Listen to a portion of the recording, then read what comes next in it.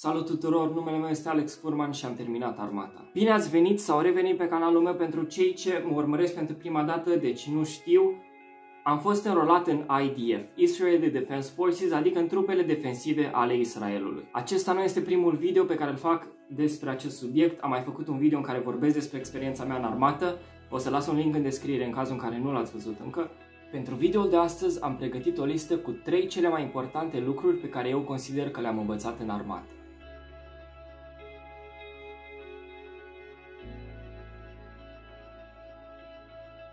Trecând la subiect, o să încep cu primul lucru pe care eu consider cel mai important învățat în armată și anume faptul că fiecare viață contează. De fiecare dată când aveam o misiune, comandanții ne instructau să nu rănim oamenii nevinovați, iar oamenii vinovați să rănim doar în cazul în care este absolut necesar. Când m-am înrolat în IDF, primul lucru pe care l-am primit nu a fost o armă.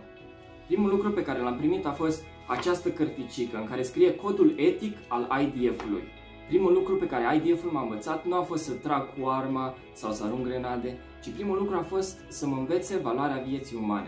Am învățat că IDF-ul nu este despre pedepsirea vinovaților, ci este mai mult despre protejarea celor nevinovați.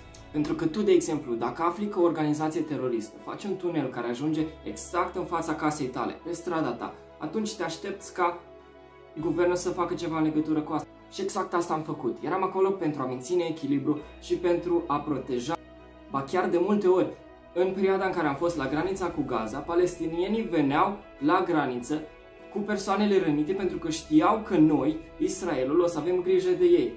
De multe ori, cei în nevoie de ajutor preferau să ceară ajutorul IDF-ului în locul autorităților palestiniene. Pentru că oamenii știu adevărul, că IDF-ul nu este împotriva altor religii, ci împotriva terorismului. Ok, al doilea lucru pe care eu îl consider cel mai important lucru pe care l-am învățat în armată este faptul că perspectiva celorlalți despre tine nu reprezintă ceea ce ești. Bineînțeles că înaintea armatei, foarte multe persoane din jurul meu aveau impresia că sunt mult prea skinny. Din punctul lor de vedere, eram prea slab. Eram incapabil de a face anumite activități fizice. În timpul liceului, după atâția ani de a fi copilul la mic și slab, auzind asta zi de zi, începusem în capul meu să cred și eu lucrurile pe care ceilalți le credeau despre mine.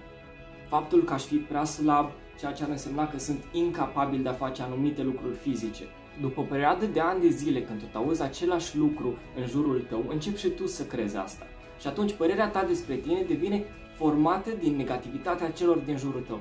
Unul dintre motivele pentru care am ales să fac armata este pentru că am vrut să văd dacă într-adevăr sunt mai puțin capabil decât ceilalți. Lucru care în armată s-a dovedit cu totul greșit. Și sincer, greutatea mea nu s-a schimbat foarte mult pe perioada armatei. Nu pot să spun că am devenit mult mai mare sau mult mai făcut. Totuși, după această experiență am învățat că puterea nu stă în mărime. Forța ta nu vine din mărimea bicepsului, ci toată puterea vine de aici. Și asta mă duce la următorul, cel mai important lucru pe care l-am învățat în armată, faptul că limitele nu există. Limitele sunt doar un joc al imaginației noastre. Limitele nu există cu adevărat. Fiecare persoană are o perspectivă diferită când vine vorba despre limite. Am învățat în IDF că adesea suntem mult mai capabili decât credem, doar că nu observăm acest fapt din cauza limitelor pe care noi ni le imaginăm.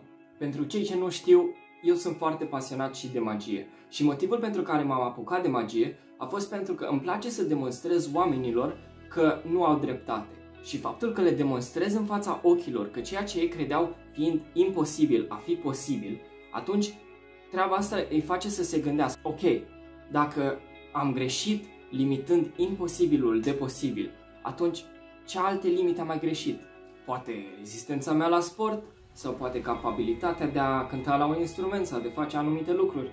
În armată, de fiecare dată când facem ceva greu, spunem un singur lucru, acol baroș, ceea ce înseamnă totul este în capul tău. Pentru că, într-adevăr, dacă o să încet... Pentru că, într-adevăr, o să vezi că dacă o să încetezi să te mai limitezi prin imaginație, atunci o să poți să faci mult mai multe lucruri decât credeai. Motivul pentru care am ales să merg în IDF este faptul că îmi place să fac lucruri care mă fac să ies din zona mea de confort. Eu consider că treaba asta te dezvoltă cel mai mult ca persoană. Și pentru a vă inspira în continuare să faceți lucruri care vă fac să ieșiți din zona voastră de confort, mai am un singur lucru pentru voi în acest video. În momentul în care am plecat în Gaza, știind că este un loc foarte periculos și neștiind ceea ce mă așteaptă, Am scris o scrisoare în cazul în care mor pentru familia mea. Și o să vă citesc. Sincer, când am scris această scrisoare, nu știam ce o să se întâmple cu ea. N-am știut dacă o să o citească vreodată cineva. Dar dacă această scrisoare poate să inspire pe măcar câțiva dintre voi, atunci cine sunt eu să țin doar pentru mine? Timp de mai mult de un an jumătate, scrisoarea asta a fost în portofelul meu și este scrisă în engleză, tocmai de aceea o să, o tra- o să o traduc acum în română ca să nu mă bâlbâi când o citesc. Am citit odată undeva că dacă Pământul ar exista de 24 de ore, atunci noi oamenii am fi aici mai puțin de o secundă. Cu asta mereu în minte, am avut o perspectivă la cât de important este timpul și cât de scurtă este viața. Acum, dacă citiți asta, probabil am murit. Îmi pare rău. Vreau să știți că v-am iubit, deși nu v-am spus-o niciodată. Pentru că, din punctul meu de vedere, chestia asta e o chestie care se știe, se simte, se vede, care nu trebuie spusă. Dacă am învățat ceva în ăștia 20 de ani pe care i-am, este că nu trebuie să regreți nimic. Viața merge mereu înainte și tu trebuie să o prinzi din urmă. Trebuie să rămâi constant pentru că timpul nu e de partea nimănui. Dacă rămâi în urmă, e greu să recuperezi. Un alt lucru foarte important este că nu mereu am făcut ceea ce îmi place. Nu-mi place să alerg, nu-mi place să lucrez greu în armată, nu-mi place armata în general.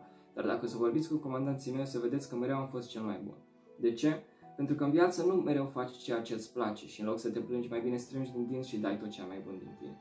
Nu am vrut niciodată nimic altceva decât să fiu o inspirație pentru ceilalți. Nu sunt cel mai bun pentru mine, ci pentru cei din jur, ca ei să vadă că dacă eu pot, atunci sigur pot și ei. Să vadă că dacă lor le e greu, mi-e greu și mie, dar asta nu înseamnă că avem voie să renunțăm. Eu sunt încă cu voi prin inspirația pe care am oferit-o oamenilor și pe care încă o ofer. Voi m-ați făcut să fiu puternic, așa că acum vă rog și eu pe voi să fiți. Ultimele mele cuvinte trebuie să fie înțelepte, așa că închei spunând Hakuna Matata. Deci în cazul în care nu aș mai exista acum, chestia asta ar fi ultimul lucru pe care l-am spus familiei și pe care l-am spus celor dragi. Sper că videoul meu va inspira măcar puțin. Faceți chestii care vă fac să ieșiți din zona voastră de confort. Distrați-vă, trăiți experiențe, cunoașteți oameni noi, faceți lucruri noi și noi ne vedem la următorul video. Dați un subscribe și puneți și clopoțelul ca să primiți notificare de fiecare dată când postez ceva nou. Urmăriți-mă și pe Instagram, lăsați un comentariu să-mi spuneți dacă v-a plăcut și mulțumesc foarte mult pentru vizionare.